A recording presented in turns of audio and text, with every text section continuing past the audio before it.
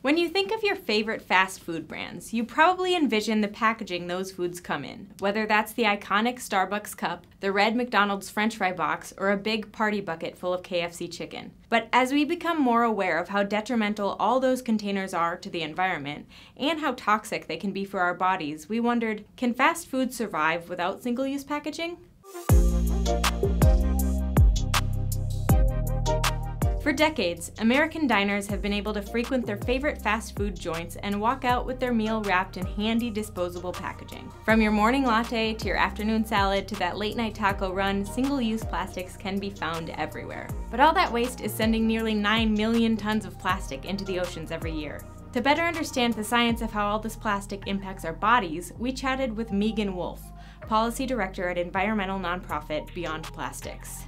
Well, we're all aware of that warning about don't microwave your food in plastic. So we all have this sort of sense that like heat and plastic and food, maybe not the best. Plastic is stable, very stable, but it's not inert. And increasingly, studies are demonstrating that when you put hot food or any hot substance in conjunction with plastic, it does react and that the chemicals inside leach out into the food. Even at room temperature, there's a reaction, but it's accelerated when it's hot. What we really need to be doing is cutting back on single use packaging overall, especially the kind that we only use for a matter of minutes and then toss into the trash. How did we get here?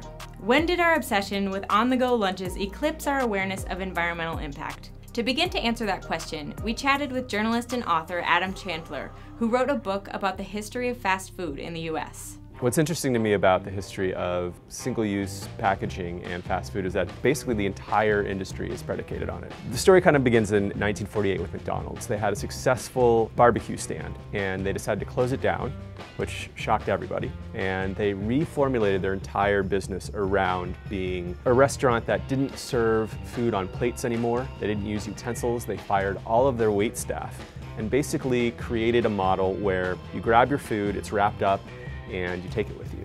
And everything goes into the trash, you don't have to wash any dishes, you don't have to clean any cups. This became the model for efficiency, especially as car culture was taking off. There are lots of examples of how investing in single-use packaging has proved lucrative for these players too. One of the ways that Heinz kind of murdered all of its competitors, as fast food car culture was taking off, they created the small single-serve packaging for the Heinz ketchups. And it was one thing that helped them get contracts with a bunch of fast food companies. So, given how entwined fast food is with single-use packaging, we wondered, is it possible for the industry to evolve beyond it? That led us to Just Salad, a brand that's been working to avoid generating waste from its stores since its founding in 2006 by Nick Kenner. Just Salad offers reusable packaging to customers who wish to reduce single-use waste every day. And we have a very established reusable bowl program where you purchase a reusable bowl for a dollar. And every time you come back to the store, we provide a free topping as a reward for using it. The program keeps about three tons of packaging waste out of landfills annually. Our most active stores have up to 25% of customers using it on a daily basis. And the more you bring back the bowl, the more your carbon emissions and water savings increase. Recently, Just Salad added a new kind of bowl that customers can get when they order through the app. We recognize that the next stage of our reusable packaging program was to make it possible to order in a reusable container when you were ordering digitally. When you opt in, you come to the store to pick up the order you placed digitally, and this bowl will be at the pickup shelf. When you're finished, come back to Just Salad and return it and pick up your next order. But this kind of behavior change can't happen for everyone overnight. While Just Salad is working to convert as many people as possible to reusables, they still have an option for folks that aren't up for it yet. The recycling rates of plastic are very low. So we moved to these fiber containers that are derived from a natural resource, sugarcane, that is renewable. Megan pointed out that those materials often cause other problems. It's not nearly the get out of jail free card that we hoped it was. So called compostable, biodegradable alternatives actually are often manufactured with the same chemical burden that went into the plastics themselves.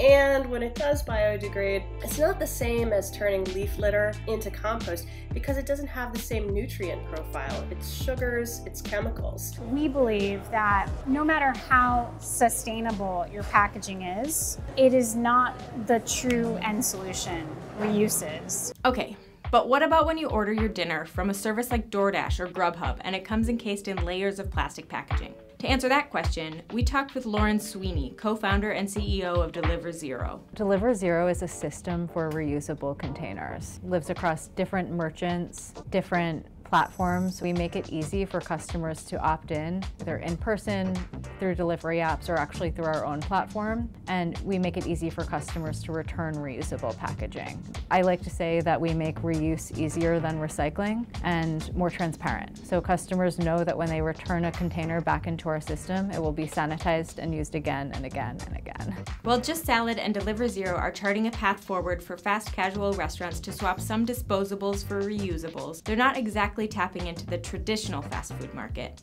Would it be possible to translate the work that they're doing into the realm of McDonald's and Burger King? They think yes.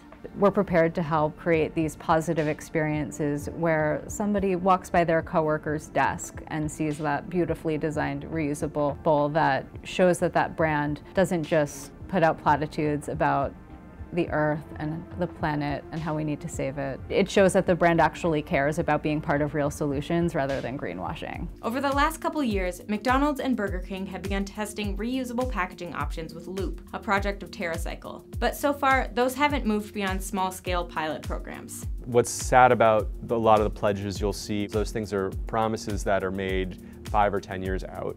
It's hard to know whether anyone's actually keeping track of these promises. It's more about grabbing short-term attention. So I'm always nervous when I hear that something is going to happen because it's very easy to throw a wrench in the works and say, well, this actually didn't happen because of X, Y, and Z. It's reasonable to be cynical about whether these places will actually change, but you are seeing these changes happen because I think there is a sort of moving demand for this that is influencing the way that these are happening. Fast food is so entwined with American culture that none of these changes are going to happen overnight. And they're likely going to face a lot of headwinds from not only the fast food companies themselves, but also the range of players that benefit from the business of single-use plastics. It's going to be really hard to challenge single-use packaging in fast food and American culture broadly because we are a convenience culture. We are obsessed with time and we're obsessed with efficiency. And that speaks to kind of how we're built. I think it's going to have to come down to smarter single-use packaging before it comes down to eradicating it altogether. So back to our original question. Can fast food brands evolve beyond single-use packaging? The jury's still out on that. But brands like Just Salad and Deliver Zero are doing their best to chart a path forward. It's just a question of whether the market leaders will follow.